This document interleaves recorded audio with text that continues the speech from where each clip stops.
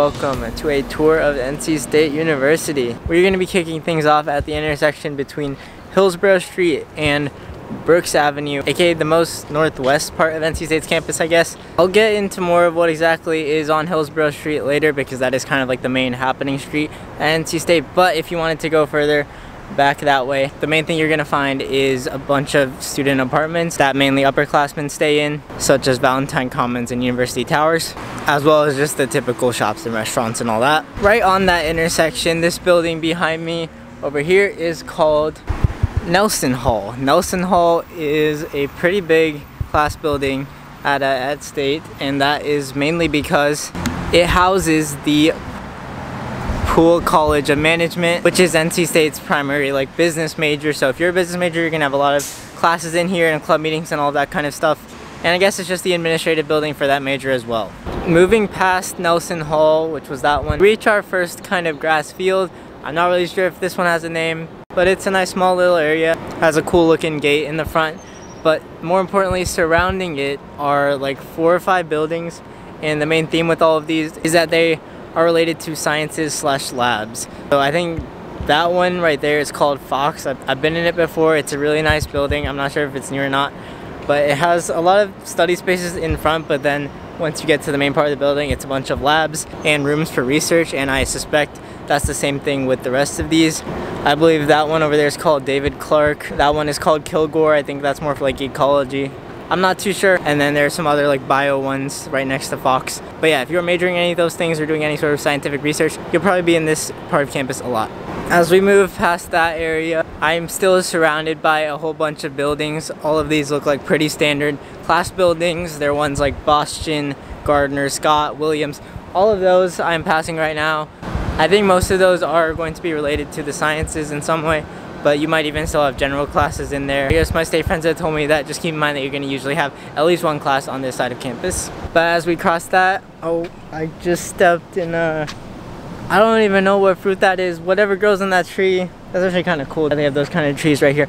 But back to my point, past that we are going to be entering the Brickyard, which is one of the most beautiful parts of State's campus, in my opinion.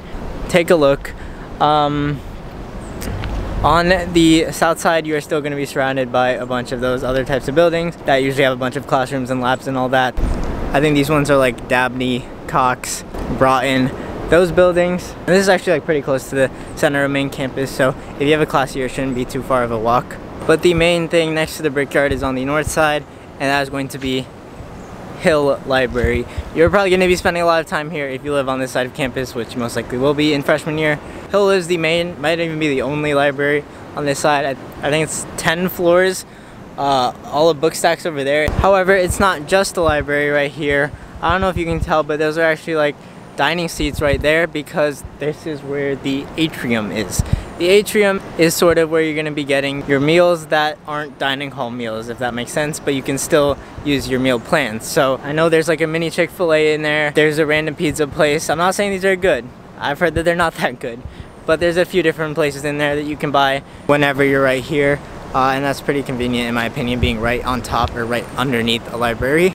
The inside of Hill Library is honestly really impressive, especially the area that you're seeing right now, which is what they renovated in the summer of 2021 really good job by State on that. It puts it at almost Hunt or Talley level in my opinion, which I'll get to both of those later. Those are pretty high standards, so yeah, pretty solid place to do work either with people or just by yourself. Right next to the Brickyard, they have a pretty unique but also cool and very random sculpture. You might have seen a TikTok about these because I think there was one that got quite a few hundred thousand views.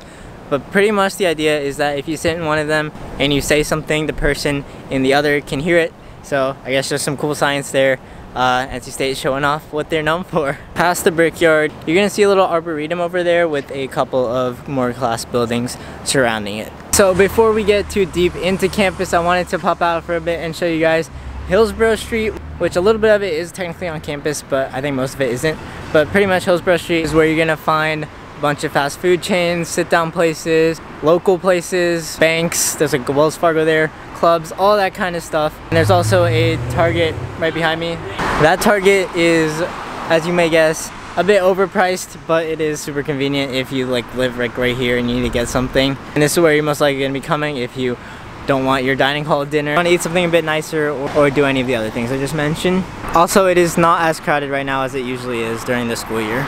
Actually, there are also a couple of class buildings down on this side of Hillsborough Street, so there is a chance that you are gonna have to elongate for a class, which isn't a bad thing actually. You can just get lunch here and go to class. I don't know, but yeah, just be aware of that. It's literally so painful to see so many people paying for street parking on Hillsborough when there's literally a lot right there that's free after 5 p.m. that no one's in. Little pro tip if you're gonna have a car here. Going back into campus from Hillsborough, there are a few more class slash department buildings. I'm not going to go over each of them because that would take way too long. But the main thing that I want to show you is that we are about to enter the Court of North Carolina, which is the fancy term for this huge grass field. It is a very pretty grass field though. I've never seen this so empty. I've only been here like twice, but both times it was full of people like having picnics and just doing work, sitting on blankets and stuff over here. So definitely use this area for that. And it is surrounded once again by a few different of those standard buildings. Actually quite a bit if you can see there. But um, yeah, these ones are like Poe Hall, Leazar Hall, Caldwell Hall. So you might have a nice view during one of your classes. I don't know. One thing that you'll notice, an interesting part of the structure of this campus, is that we haven't passed one dorm slash residence hall yet. There's like none on this north part of campus. We're gonna pass one soon, but just thought I'd point that out because that's really weird to me. But, but the main thing that I wanted to show you on this north side of campus before we start moving to Central is on the very northeastern tip of it, and it is going to be NC State's Memorial Bell Tower. This has actually been under construction for like a good year, year and a half, but it did open back up a few months ago and it looks really nice. It towers over this whole like corner of campus, but I really like how it looks, the whole gray color and all that. I think it's very fitting for NC State and it is right next to Hillsborough and Pullen Road, I want to say. Walking down Pullen Road now, we're about to hit the College of Design, which I guess who that belongs to. But look at the entrance to their to their department hall. It's called Brooks Hall, and look at that. That's probably the fanciest one at NC State. It's like full white marble. But yeah, this is Pullen Road. Um, to my left, it's just a bunch of grassy areas. Plus, there's like a few baseball fields. I assume that's where the team practices. Circling back in from, from Pullen Road, uh, we finally passed our first residence halls. Watauga is a little back there. This is Gold. This is Welch. Syme is right in front of me. There's a little nice picnic area right there. Um, this is on the very east side of Central Campus, so it's not a great location. We are now turning right onto Dunn Avenue. This is where I guess Thompson Hall is. I didn't I didn't know that was here, but it is NC State's like performing arts theater, which is neat. More importantly, this is where the actual honors college dorms are. My friend actually stayed in one last year. It was this one, Becton. It's pretty much same location as the other ones we talked about. Not the worst, but not amazing for sure. Past those, you're gonna see one of the entrances to Coliseum parking deck, which is the main deck in the center of campus. And yeah, let me tell you, if you don't have a permit, it's expensive to pay here during the day. It is quite massive though. But we are on Cates Avenue now. I just passed a dining hall, the first of the three at State. I've heard it's the worst one, but don't take my word for it. It's called Clark Dining Hall. That's back there. To my left is NC State's track and soccer field. And then to the right of the soccer field is NC State's softball stadium. But now we are really going to start entering the main, main parts of campus. You just saw me pass Case Dining Hall, which is the second dining hall. It's actually really good. I've been inside of it once, but it's actually meant to be the athlete dining hall. But they do open it up to regular students for lunch and breakfast on weekdays, I think. Yeah, definitely try it out and know where that is. Behind me right here is going to be Reynolds Coliseum, which is where women's basketball plays, I believe. But now, uh, still going down Cates, we are going to pass the two probably biggest and coolest looking buildings on NC State's campus. Talley Student Union, which I've raved about on this channel before, and Carmichael Gym, which I have not yet had a chance to rave about, but I will do so right now. This glass part up here just got renovated last year, so I've been in it once. It is so nice. There's like whole turf and everything. I don't think I'm allowed to go in now because I don't have a student ID. But yeah, this is the one and only gym at State, but that's because it is massive. It is like insane the amount of stuff that's inside. There's rock climbing, there's basketball, there's there's badminton, there's everything you can think of uh, somewhere in this gym. I see people doing weights down there, cardio up there. It has everything. And Talley is as beautiful and nice looking on the inside as it is on the outside. I mean, just look at that. This is obviously the main student union at NC State, so there's tables everywhere for you to sit down, eat, do work, whatever. Uh, behind me, there's a Wolfpack Outfitters, which is like NC State's merch store, and a Howling Cow ice cream in there. There's a Howling Cow there, which is like NC State's signature ice cream place. You probably know that if you're going here. But that's right here, as well as a few more small restaurants down the line. There's like a Jason's Deli, a Tuffy's, that kind of stuff it's just like your quick on-campus food that you're gonna get that you can use your meal credits on, but you can also pay for them. Like even the elevators are pretty sick. Obviously right now, like I've said, it's a Friday evening in the summer, so no one's here. But during a regular school year, this place is absolutely packed. But for good reason, it is super nice, pretty much every section of it. And if you go here, you're gonna be spending a lot of time in Talley. The spire here on the north side of it is equally as cool as everything else. Every time I walk in Talley, the more I wish something like this was at UNC. And then outside, I almost freaking tripped on those. Outside Talley uh, to the north side, this is how it looks. And it's another pretty common area for people to gather. Moving on past Talley, we are going to be reaching a lot of the dorms and this is where majority freshmen stay. So pay attention. To my left, we have Turlington and Alexander. I think both of those are regular hall style dorms. And then um, past those, you're gonna reach the Tri-Tower dorms, which is these three right here. There's two more behind it. These are gonna be Carroll Hall, Metcalf Hall, and Bowen Hall. But before I show you guys the other side of that, there's one pretty important part of campus that I haven't showed you yet. And that is the Freedom of Expression Tunnel. There's a pretty high chance you've seen this before but if you don't know what it is, the name is pretty self-explanatory. It's just an entire tunnel where people can spray paint pretty much anything that you want on there. Be warned, there's a lot of sus stuff on there, but there's also a lot of really cool art. Like, look at that. Yeah, its location is also like a pretty nice path to get from Central to North Campus, so it's convenient too, and it is super cool to just walk through every now and then and see what people are talking about or drawing up, I guess. Except at like 4 a.m. I would, I would avoid going in there alone at 4 a.m. But yeah, back at the Tri-Towers, here's a better view of all three of them. There's Carroll, Metcalf, and Bowen. And yeah, all three of these are 10 stories, regular suite style, so a whole lot of people living in here. It is a really nice location because it's right next to Talley pretty much. However, it might be a bit longer of a walk to classes, but still pretty good location. I've heard the actual rooms are iffy though. Behind the Tri-Towers over on this side, you have two more dorms, Tucker and Owen is right there adjacent to it. There's a nice little volleyball net right there. And I've actually heard the people who live in Tucker and people who live in Owen compete in like a volleyball competition every year to see who like owns that center space, which I thought was really cool. And yeah, I believe both those are hall style as well though. Past Tucker, we're on Cates again. You're gonna hit Witherspoon, which is a student center that has a few different things in it.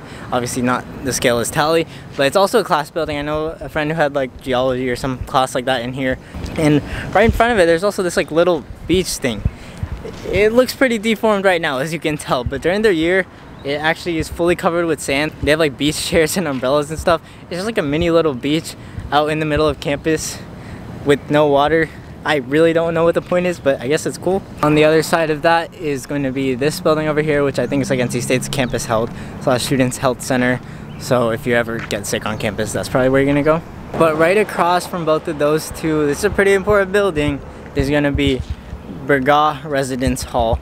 You can't really see it's covered by trees right now, but this is the biggest, I think, freshman dorm at NC State. Uh, it's suite style. The rooms are bigger than the Tri-Tower. Honestly, it's your traditional dorm, so if you want that classic freshman experience at State, Bragaw is gonna be your way to go. I think freshmen are allowed to park here, but it's pretty hard to get a permit. Like you have to get really lucky. But yeah, this is the other side of it. You can kind of see, but this is where the entrances to all the rooms are and the balconies uh, in front of them. One of the perks of living in Bragaw is, I think, the main dining hall at NC State Fountain, which is right there is right next to it. So if you want to eat, you can literally walk like 30 seconds and you're there. Fountain itself is, like I said, pretty standard dining hall. Uh, I've had it before. I'd say it's slightly above average in terms of the food. Inside is going to be really crowded there on weekday evenings. And it's another place where you're going to be spending a lot of time. Next to Bragaw, on the very west part of Central Campus, you're going to have the two final dorms over here. Lee, which is right there, and Sullivan, which is right there. They're both also suite style, but I think the rooms are a bit smaller than Bragaw, and their location is pretty decent. Not the worst, not the best. And the only thing that's going to be further west on Central Campus than those two dorms is going to be the baseball stadium. So that's going to wrap it up for the North and Central Campus part of the tour. I made it back to where I started. Nelson Hall is right over there and Dan Allen parking deck is right here, which is where I parked.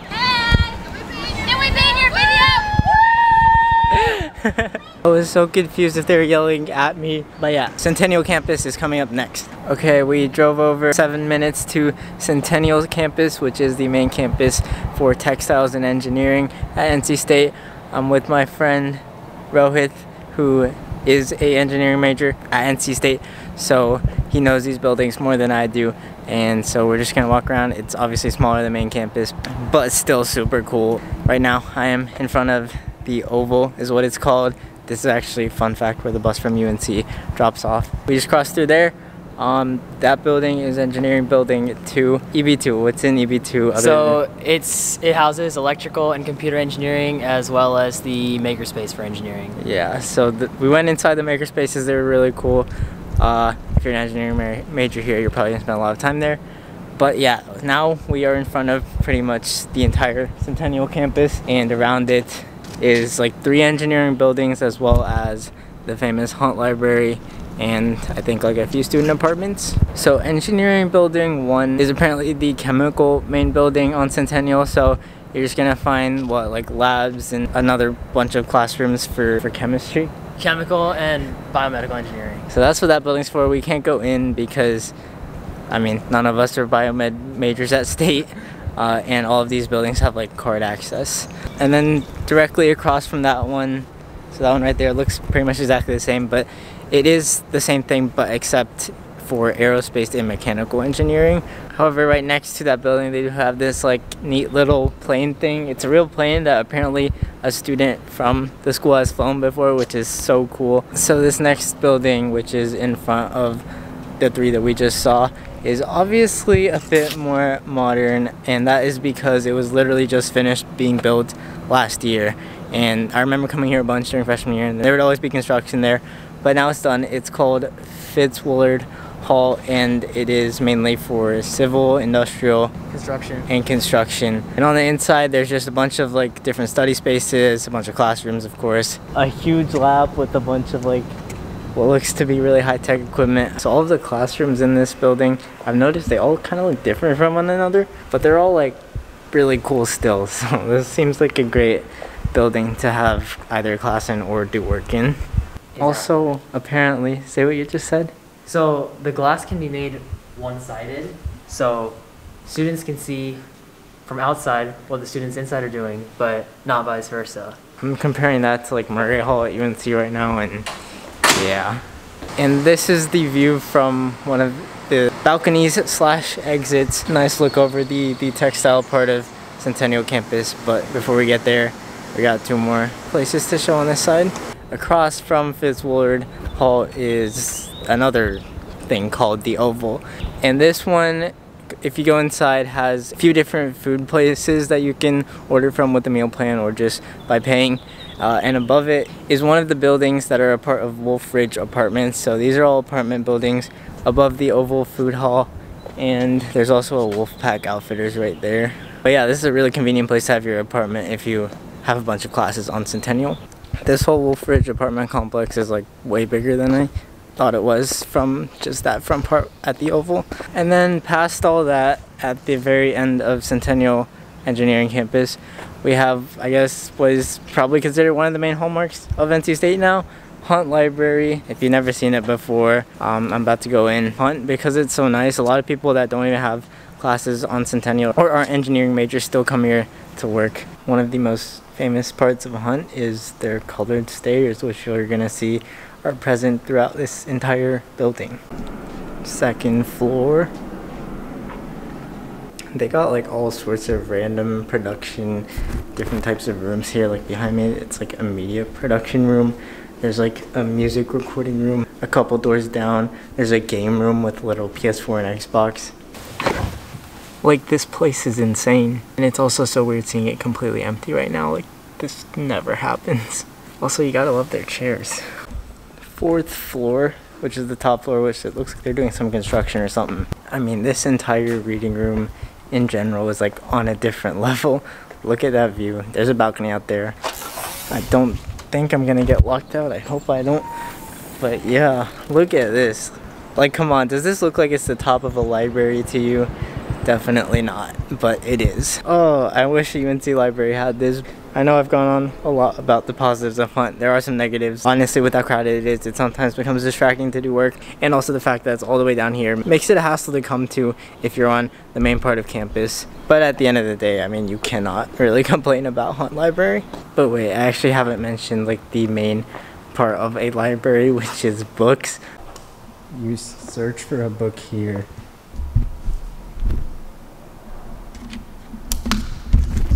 and then it just goes and grabs it. Like who needs book stacks anymore, am I right? But actually this was built in like 2014, 2013, so it's not even that new. And then the final part of this tour, other main part of Centennial, which is the textiles complex, which is where a lot of the classes and resources and everything for textiles majors are, which is relatively popular major at, at NC State, I think. It's one of the best in the nation for textiles. The main building is locked right now, unfortunately, but I did see Port City Java from the outside. There's a bunch of random tables and desks, obviously your, your typical stuff. And I assume on the top there's classrooms and all of that. And then outside it is this pretty nice view. Um, the building actually extends really far back. I, I don't know what's what's all in there. There's also this like really nice looking bridge at the very end of the textiles campus. There's more research buildings at the end, but this is a nice little touch. Actually, I lied. The very end of Centennial campus actually has this building, which is what Rohit calls the MRC. MRC, yes sir. The MRC, which is apparently just this massive research building that a lot of professors will go to to do their research or grad students or whatever. Looks pretty interesting. But yeah, that is going to do it for this tour of NC State University. Drop a like if you found this helpful. Big shout out to Rohit for helping me understand Centennial and everything. It is a nice campus. It's overall more modern than UNC, especially on this side. I still prefer UNC structure a little bit. But yeah, that's going to do it for this one. Uh, thank you guys so much for watching. I will see you later. Peace out.